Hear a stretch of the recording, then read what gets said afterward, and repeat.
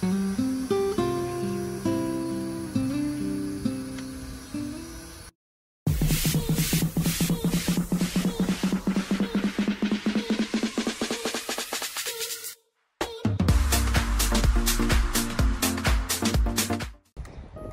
여러분.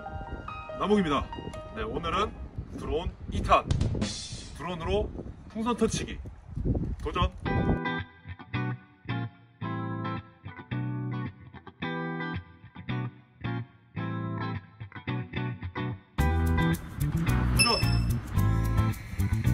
갑니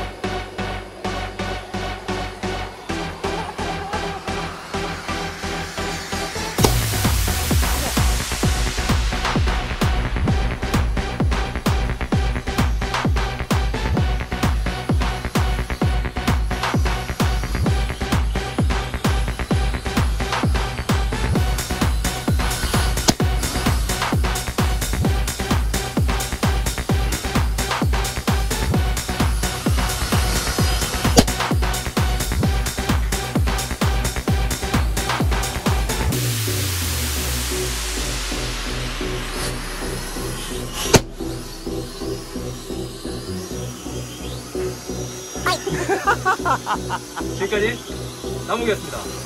드론 날리기 실패! 네, 지금 배터리가 다 떠나서 제가 지금 손으로 조작했는데 다음번에 재도전 해보도록 하겠습니다. 감사합니다.